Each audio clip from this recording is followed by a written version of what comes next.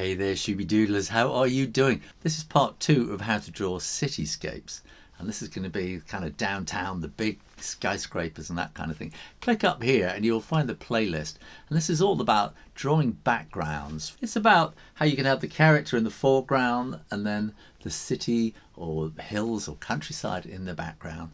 And it's a playlist that kind of deals with this whole subject. These cityscape videos were inspired by one of my patrons on Patreon who asked, could I show how to draw cityscapes? In the previous video, I drew this little cityscape, but this is kind of down at ground level. Um, as you're kind of entering the city and you've kind of got shops and stores on the outside. And now we're going to go deeper into the city where everything starts getting bigger and bigger and we get skyscrapers and all that kind of stuff. And that's what we're going to draw now. But let's not talk about it. Let's do it. So I've drawn three parallel lines just as a guide. And what I'm eventually going to want to do is to put that in front of the cityscape behind to give a kind of sense of depth. So I've made some little marks here.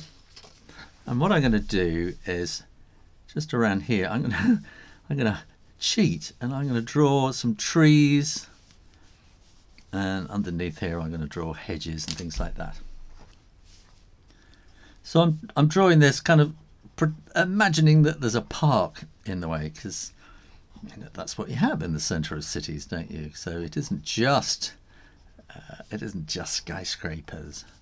You do have parks and trees, and you know all sorts of things going on.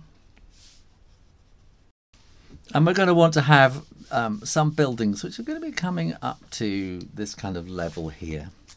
And these are going to be kind of apartment blocks uh, let's draw a little line like that.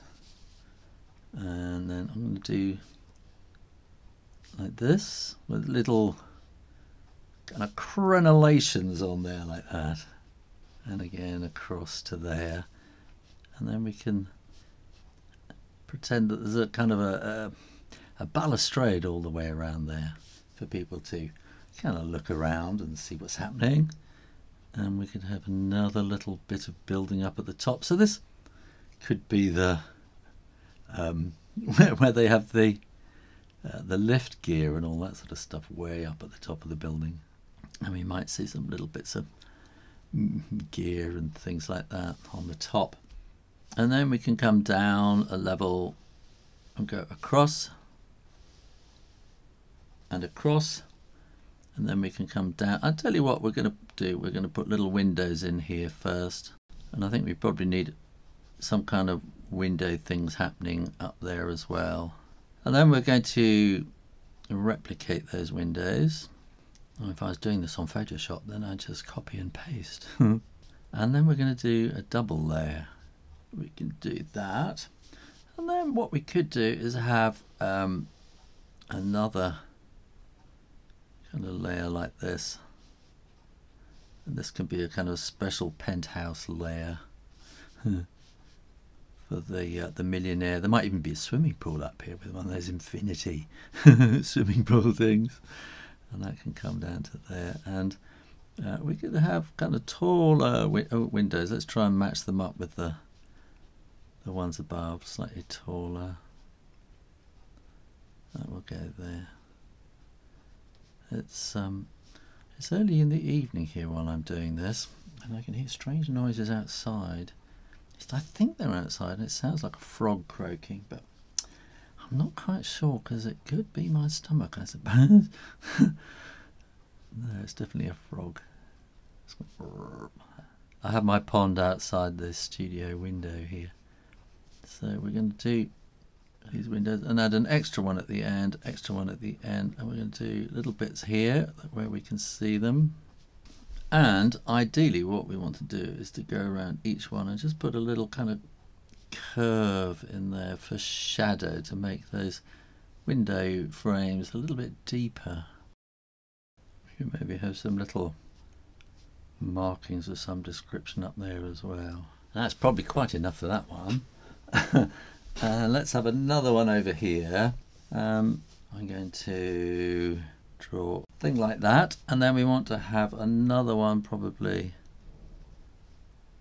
over there like that. We're going to bring that down and down and another one going across down and down. Oh, I didn't mean to do that double one. like that. And then we'll have this coming down there like that. And we're going to have another little line across there and across there and we're going to have a kind of pattern in there. Maybe put some little dots in between them something like that. So this is kind of decoration.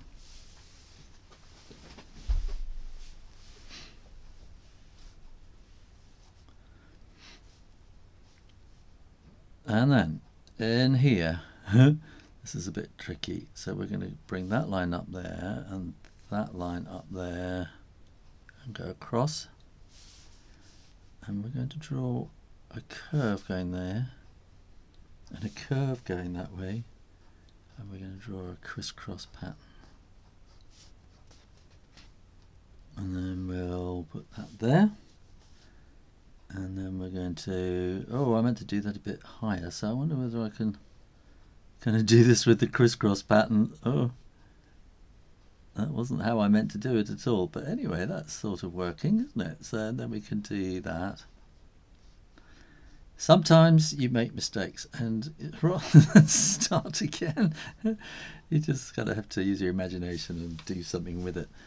Uh, oh yeah I hadn't managed to, meant to do that either but anyway let's do that and then we'll add another little layer on the top uh, with some kind of radio mast thing on the top and here we're going to have a kind of a double layer of thing going along there like that. And I think again we can have a kind of a railing thing coming along there. And we're going to have one two three four five.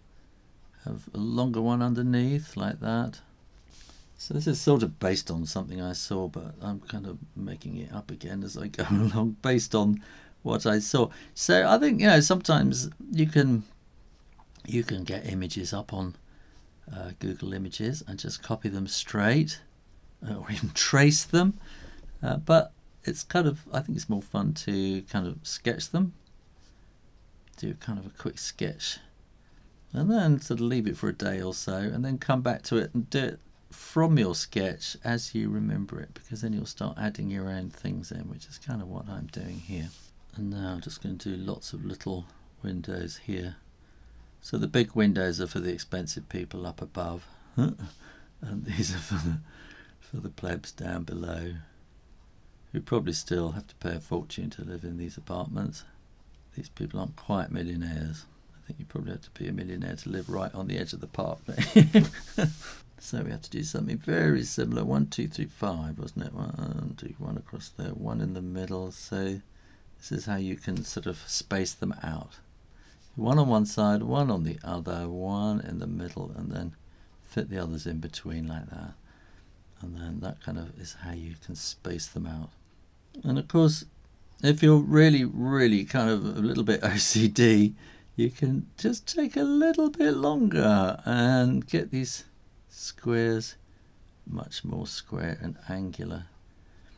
And and don't forget also that you know you, if you stop and start this video and replay it you're not going to wear it out.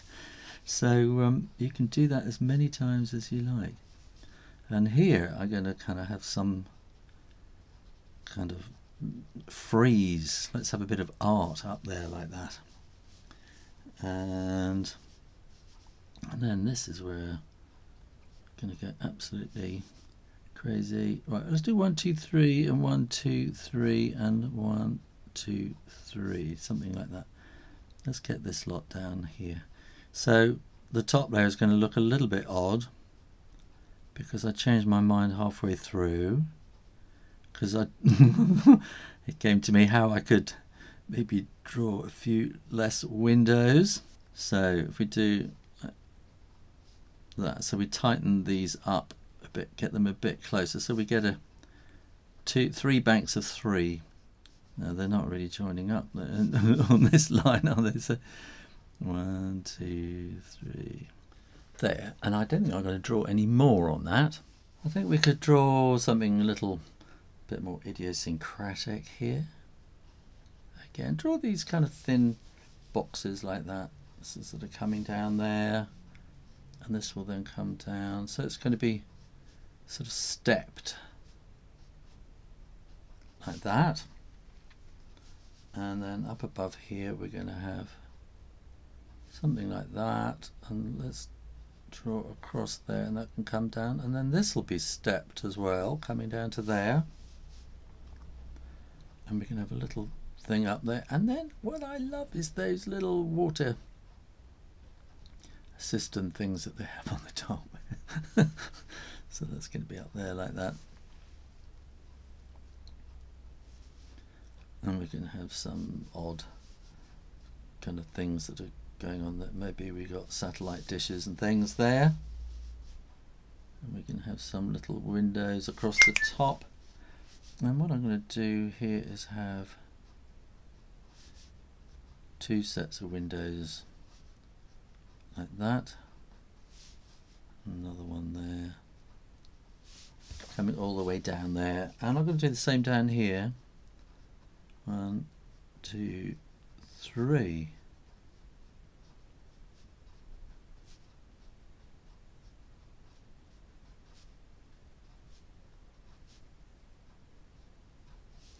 And we want to do that shadow thing again just kind of filling in the corner and the side a little bit.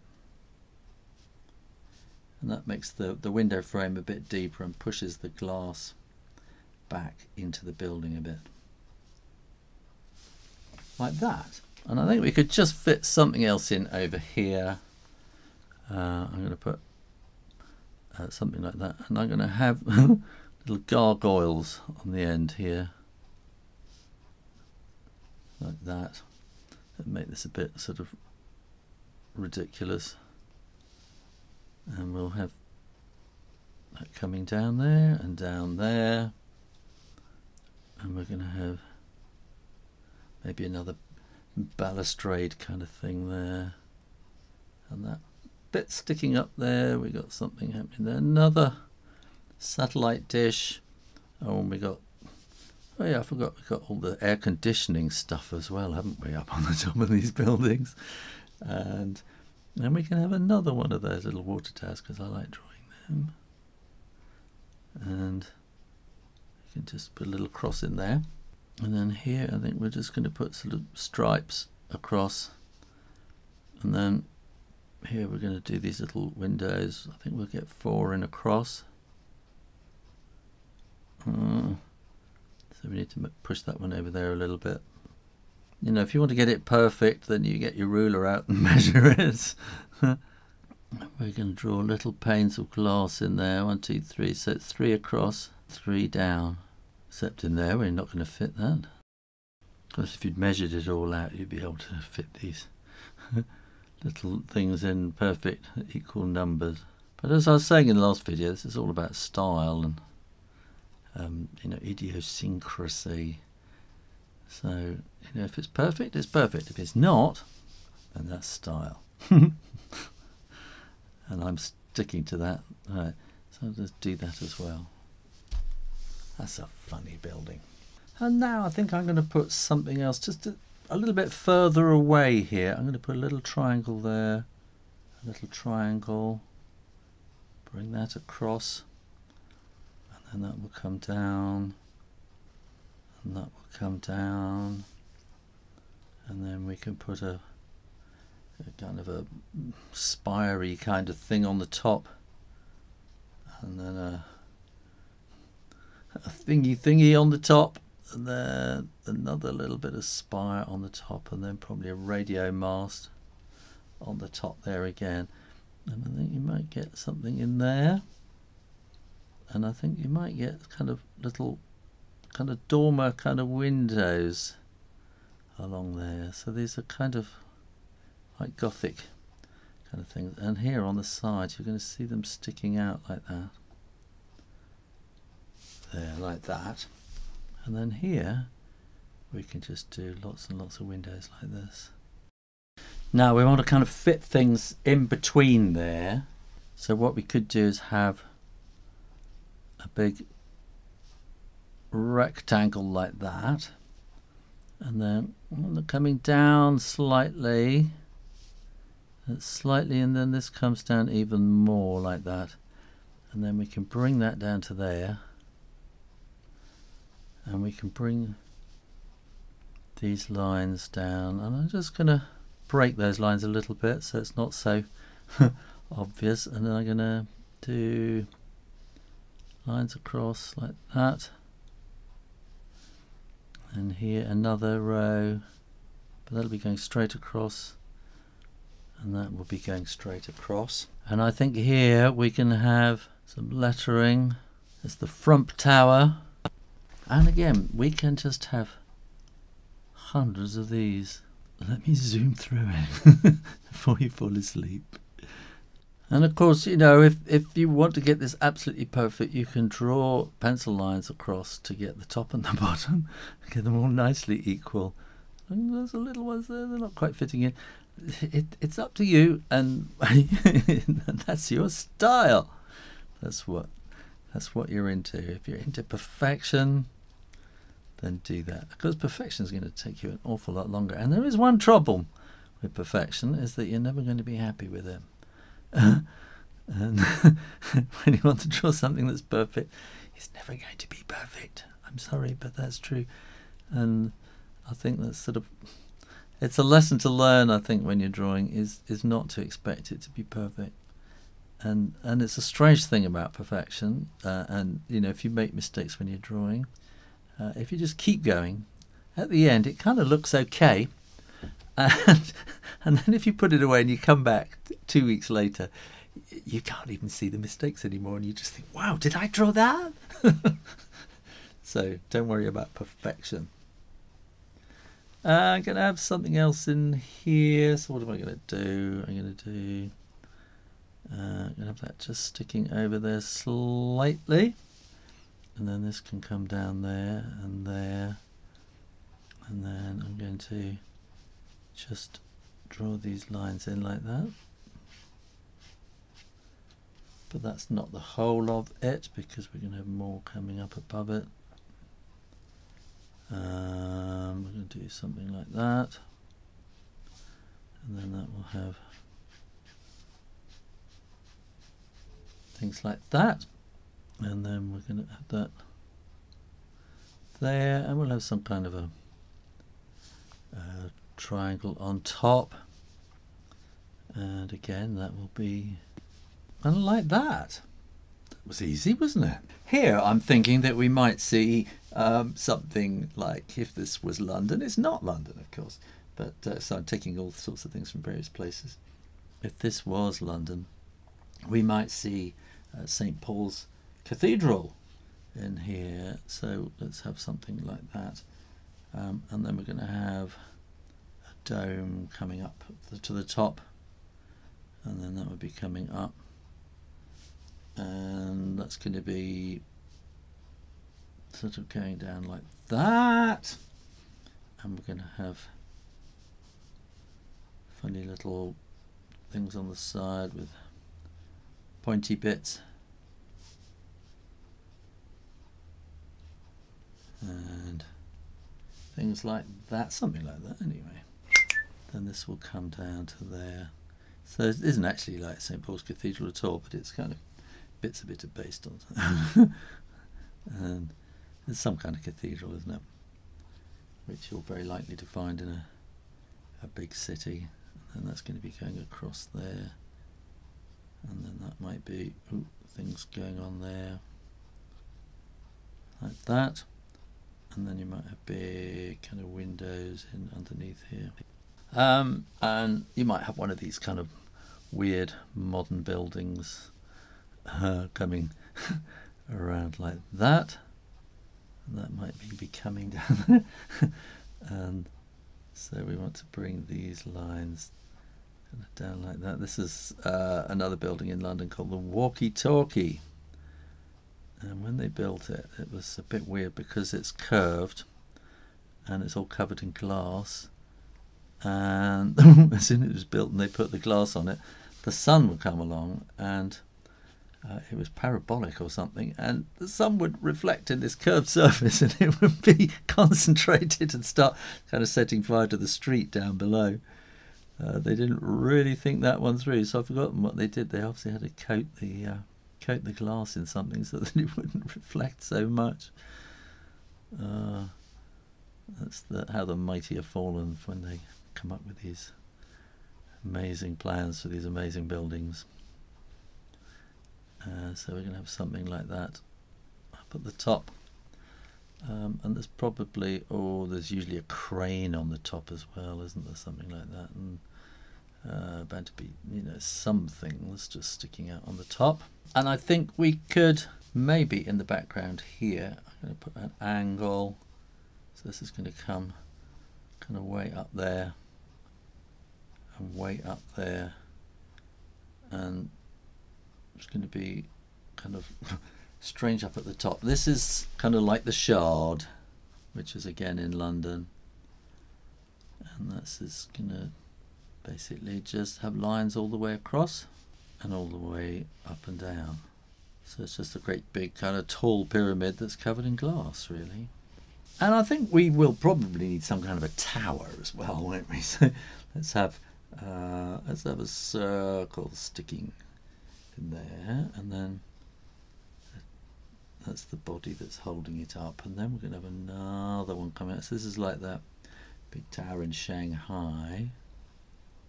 So that will be going up there, and then we're going to want this thing shooting all the way up there. And I'm not really sure. I just had a quick little look. So these are actually kind of tubes connecting the whole thing up here like that. That makes it much more interesting. And so we can put these little curves there like that. And then there's another one up there as well we need to fit in.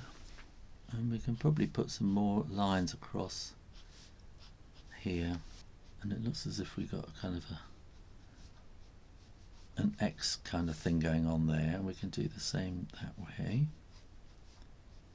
And that's nice because that makes it look a bit different, doesn't it? And then we can maybe have a little thing like that going across there. We probably want a kind of a world trade tower kind of thing, so we could put something like that. So it wants to be going slightly wider at the bottom and then slightly wider there as well.